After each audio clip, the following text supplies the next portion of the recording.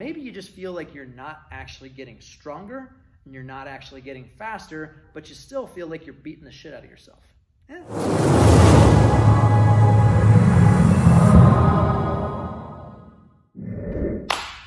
What's up, ladies and gentlemen? Coach Ryan of Axistence Athletics. And as some of you may know, I like to think of myself as a bit of a, an exercise scientist.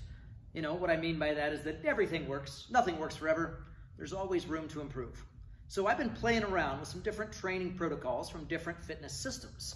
All right, some of you may recognize this uh, $1,000 shirt here, right here. So I've taken some of the CrossFit protocols and aligned them with some of the StrongFirst protocols. I know, blasphemous, blasphemy. Hear me out, all right? Hear me out. So I've been doing a little bit of experimenting in this glycolytic, anti-glycolytic realm, and I would like to share this experiment with you today. Testing in the gym is just a way to make sure that we are improving, all right? So we've got to have some sort of standard, some sort of test to where we can make sure that we are leveling up, all right? So I love that CrossFit has these standardized tests. I love that StrongFirst has these standardized tests. Well, you know, one of the things we like to do here at Axistence is take a little bit of what works from every fitness system and combine that to, you know, what, what helps someone train for the most active life all right? Your most active lifestyle, your most active existence, if you will. So today what I've done is taken a classic, a classic test from the CrossFit world known as Fran. And I've taken the StrongFirst, Strong Endurance Protocols, and paired this together, I know, bastardization, right? I love it. This is going to take two movements, the barbell thruster and the pull-up, and we're gonna train those in an anti-glycolytic fashion. So Fran is very glycolytic test, all right, meaning you're, you're using um, your, your glycolytic system rather than pure aerobic system or pure ATP, all right? And we're gonna take this very glycolytic test and break it down in an anti-glycolytic training protocol. You ready? Now the intent here is to choose a weight for your barbell thruster where you can perform 10 repetitions in under 20 seconds.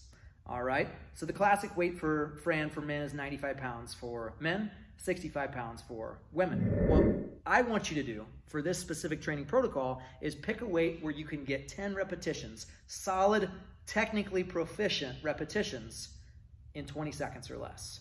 All right? Then, on the pull-up side of things, you need to choose a pull-up variation where you can get 10 repetitions in 20 seconds or less. Now, if you have the technique of a butterfly pull-up, that should be no issue for you. If you have the technique of a kipping pull-up, should be fine. If we don't quite have either of those, the jumping pull-up from a box where your head is about six inches underneath the bar is probably gonna be your best option. So we're gonna work this in an EMOM fashion.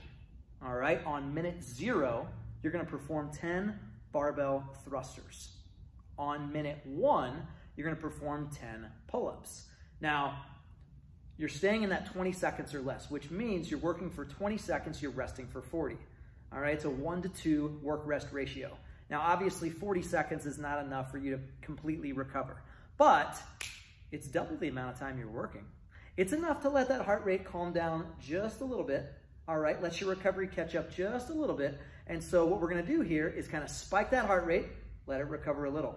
Spike that heart rate again, let it recover a little. Spike it again, let it recover, spike it again, let it recover, all the way down. So we're gonna thruster, pull up, thruster, pull up, rest. All right, we're actually gonna rest until minute six. So minute zero, thrusters. Minute one, pull-ups. Minute two, thrusters. Minute three, pull-ups, and then rest until minute six.